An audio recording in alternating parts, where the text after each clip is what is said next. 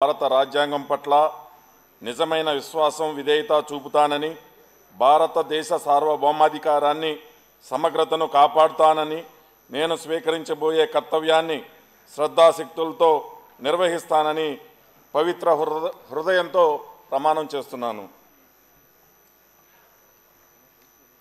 ఆంధ్రప్రదేశ్ శాసనసభ సభ్యుడినైన బోడే ప్రసాద్ అనే నేను సభా నియామక నియామాలకు కట్టుబడి ఉంటానని వాటిని అనుసరిస్తానని సభా మర్యాదలను పాటిస్తానని సాంప్రదాయాలను గౌరవిస్తానని పవిత్ర హృదయంతో ప్రతిజ్ఞ చేస్తున్నాను.